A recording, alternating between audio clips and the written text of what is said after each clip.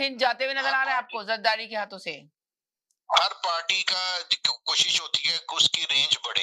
हम्म, ज़्यादा से ज़्यादा जहाँ उसकी प्रेजेंस नहीं है वहाँ पे वो किसी ना किसी तरीके से अपनी स्पेस पैदा करे। उस जैसे सिंध में आपको पता है टिपिकल ये है कि जो पीर है सैयद हैं के जो अभी मैं इनसे पूछना चाहूँगी है ना कहते हैं साजिद भाई से भी कि ये क्या देखते हैं कि है ना सीन इनके हाथों से निकलता हुआ दिखाई दे रहा है ये पीपल्स पार्टी के बारे में जरा बताएँगे कि अभी तरह महमूद साहब पूरा दे दें फिर आप दीजिएगा। जी महमूद साहब पूरा कंटिन्यू करें।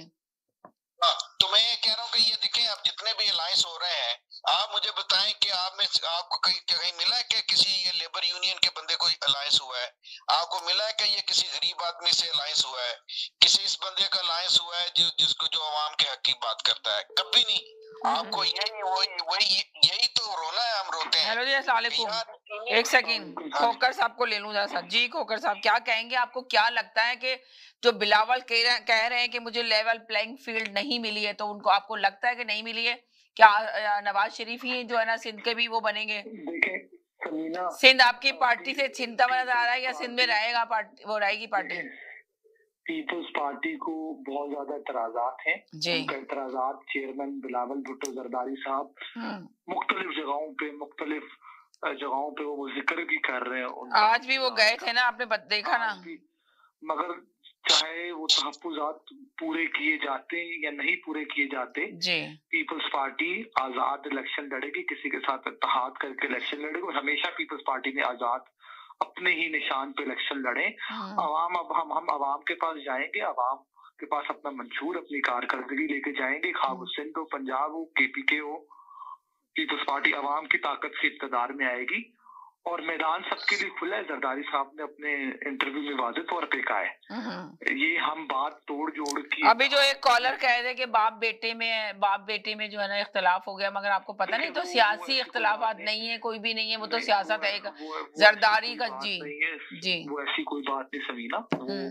पीपल्स पार्टी में खा वो जरदारी साहब हो चेयरमैन बिलावल भुट्टो साहब हो खा। वो सीईसी के मेंबर्स हो या आम कारकुन हो हम्म, उनको अपनी राय रखने की खा वो इंटरव्यू में खा वो पार्टी की मीटिंग्स में अपनी राय रखने का हक है। हम्म, मगर इख्तलाफात कोई नहीं आप देखें उसके बाद इंटरव्यू के बाद वो दुबई गए दुबई से वापस आके कल वो कोटा में जलसा करने जा रहे हैं। पीपल्स पार्टी पाकिस्तान की इस टाइम की वाहिद पार्टी जो खुल के कैंपेन कर रही है हाँ। आवाम के पास जा रही है वो तोड़ जोड़ ये बंद दरवाजे तो आज भी अगर जब गए थे तो बड़ा नारे लग रहे थे उनके पीपल्स पार्टी के और बड़ा शोर हो रहा था कि जी देखिए कितना जियाले हैं जियाले देखिए मैदान में उतर आए। तो मगर अब मुस्लिम नून लीग ने अगर मुस्लिम नून लीग के लिए अगर बड़ी ताकतों ने ठान लिया है कि नवाज़ शरीफ को लाएँगे आपने देखा आज उनके केस भी खत्म हो गए। हैं आज उनको जी- जी। बड़ी ताकतों ने ठान भी लिया ना नवाज़ शरीफ को लाने के लिए तो पीपल्स पार्टी मैदान छोड़ के नहीं भागेगी पीपल्स पार्टी मैदान में और इतनी आसानी से इनको वज़ीर आज़म नहीं बनने देगी। तो आप इलेक्शन जी।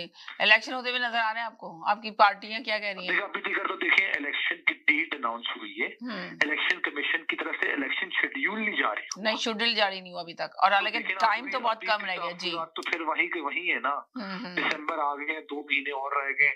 उसके बाद अगर इलेक्शन अगर अभी तक इलेक्शन शेड्यूल नहीं जारी किया गया तो मैं समझता हूँ जाती तौर पे कि इलेक्शन अभी भी शकुशुबात में है हम्म।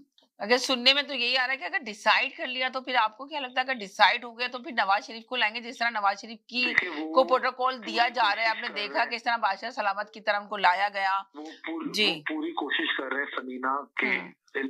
जी एक सेकंड एक सेकंड हेलो जी एक मिनट के लिए होल्ड करें जी इलेक्शन शेड्यूल तब जारी होगा जब नवाज़ शरीफ साहब के मामला ठीक हो जाएँगे मगर इतना भी आसान नहीं हुआ उनके मामला को ठीक करना। हम्म। अगर ठीक हो भी जाते तो वो मैदान में इलेक्शन लड़े कोई मसला नहीं इलेक्शन में सारी चीज़ें होंगी।